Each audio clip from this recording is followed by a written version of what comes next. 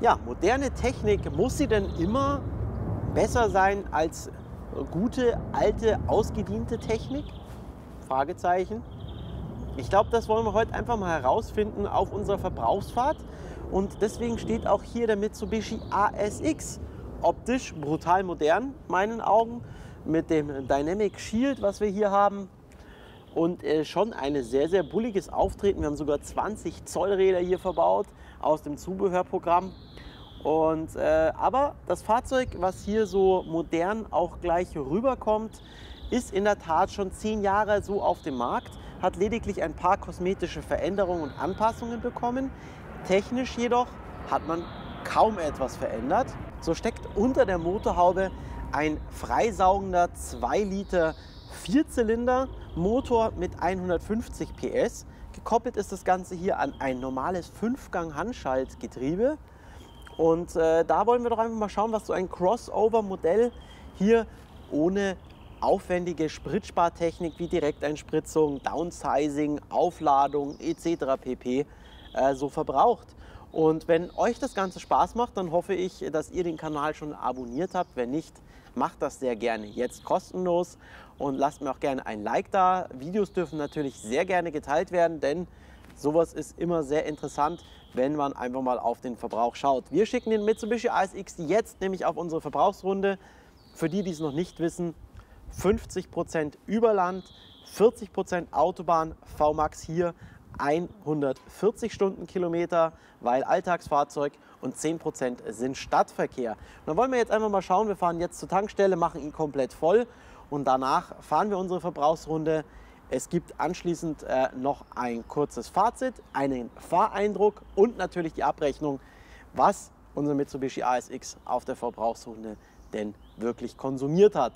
Also viel Spaß jetzt mit dem Mitsubishi ASX auf der Verbrauchsrunde.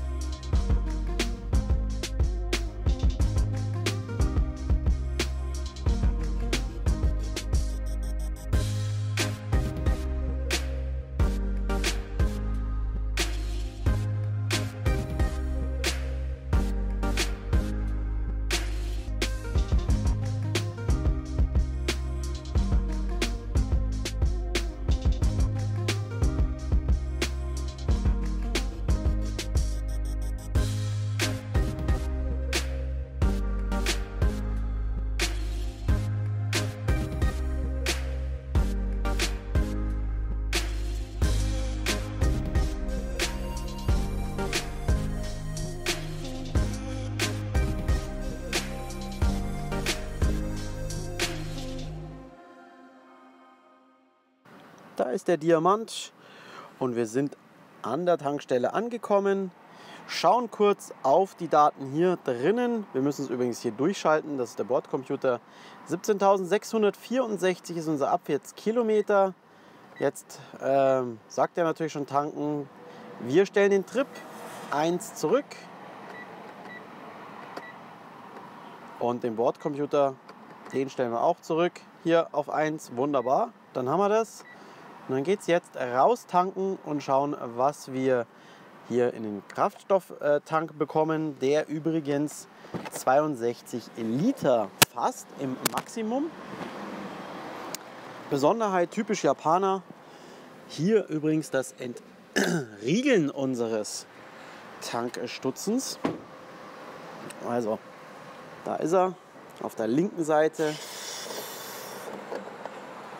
So, den legen wir da unten hin, sachte. Und dann äh, Super 95 kommt hier rein.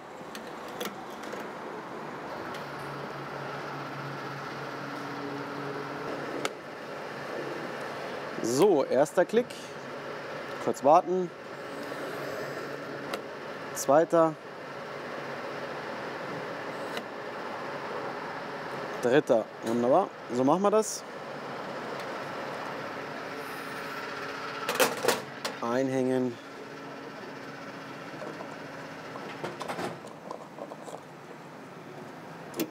Zu. Ich gehe tanken, äh, zahlen und dann sehen wir uns gleich auf der Strecke wieder.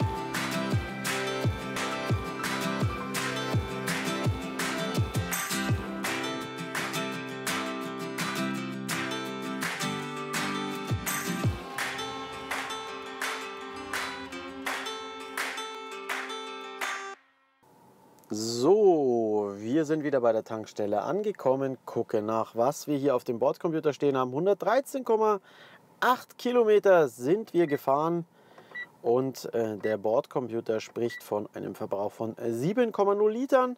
Das heißt, jetzt raus und äh, schauen, was in den Tank hier geht vom Mitsubishi ASX. Wir sind auch wieder an derselben Zapfsäule. So, wir vergessen sich wieder. Hier wird gezogen. So, geöffnet. Ja, dann legen wir wieder dahin. Super, 95. Und so, wieder laufen lassen. Das ist der erste.